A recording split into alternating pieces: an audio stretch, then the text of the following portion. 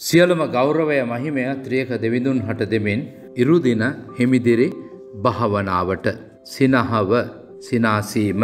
සිනහව තුළින් දෙන පණිවිඩය ප්‍රීතිය සන්තෝෂය. ඒ අතරතුර විවිධ වූ සිනහ වර්ග තිබෙනවා. ඔච්චමට ඔලොක්කුවට සමච්චලයට හැබැයි ඒවා තුළ සෙනෙහවන්තකම ආදරය කරුණාව ගැබ්වී නෑ. සමාජයේ බහුතරයක් මෙවැනි සෙනහා ප්‍රතික්ෂේප කරන අතර වැඩිකාලයක් යන්නට කලින් එවැනිසිනා කුණුබක්කියට එකතු වෙන ආකාරය අරුමයක් නොවේ. ශුද්ධ බයිබලය දෙසට හැරෙන අවස්ථාවේ මැවුන්කාර් දෙවියන් වහන්සේ පවා කිහිප විටක්ම සිනාසී තිබෙන ආකාරය පැහැදිලි. මොකද එය දෙවියන් වහන්සේගේ ස්වභාවයක්. ඒ කියන්නේ ප්‍රීතිය. මෑතකදී හඳුනාගත්ත ගවේශනාත්මක තොරතුරු අනුව සිනාසීම සෞඛ්‍යයට වඩාත් යහපත් ප්‍රතිඵල ගෙන දෙන බව පෙන්වාදී තිබෙනවා. සිනහව හර්ද ස්පන්දනය අඩු කරලා ආතතිය අවම කරන බව මේ සමික්ෂණ වලින් තහවුරු වී තිබෙනවා. සිනා සීම තුළ සිනහ වෙන පුද්ගලයාට පමණක් නෙවෙයි. සිනහව කාටද ප්‍රතිචාර දක්වන්නේ.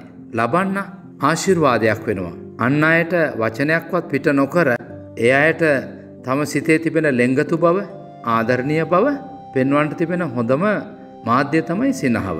විශේෂයෙන් මෙවැනි කෝවිඩ් දහනමය කාලේ දුරස්ථභාවය ආචාර කිරීම ස්පර්සය වැලකිලා සිටින්නන වෙලා තිබෙන්නේ. ඉතිං දුරසිටියත් සිනහව තුළින් වැළඳගන්නට පුළුවන්. ජීවිතය සැමවිටම සිනහවට හේතුන් සපයා දෙන්නට යන්නේ නැහැ. එනමුත් ස්වාමීන් වහන්සේ තුළ සිටිනාව කෙනෙකුට ඒ හැම වාතාවරය මැද්දෙම සිනහවෙන් ගමන් කරන්නට පුළුවන්. ඒ කියන්නේ සතුටින්. ගණන්කතා හයවෙනි පරිච්චේද විසි පස්වනි පදයට අනුව ස්වාමින් වහන්සේ සුවකිය මුහුණ නුබ කෙරෙහි බබලවා නුබට කරුණා කරන සේක්වා.